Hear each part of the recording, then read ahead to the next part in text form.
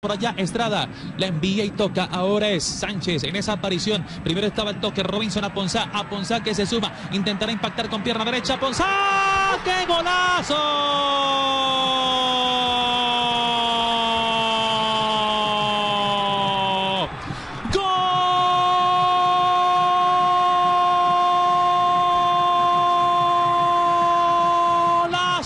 De Atlético Junior. Pero ¿quién más sino el flamante debut para Robinson Aponzá en el minuto 31 de esta la etapa inicial? Gana Atlético Junior como visitante 0 por 1 frente al Carabobo de Venezuela. Aponzá el protagonista de los golazos en Fox Sports. Sí, gol no, golazo para escribirlo en letras mayúsculas. Efectividad al 100% para el Junior de Barranquilla. Primera llegada, primer gol y no cualquiera. Un verdadero golazo, encontró el espacio, salió el marcador Rivero que no tuvo cómo contenerlo y después sacó un zapatazo. 30 goles en 38 partidos en 2016 y abre el 17 con esa gran efectividad y con una majestuosa pegada de media distancia.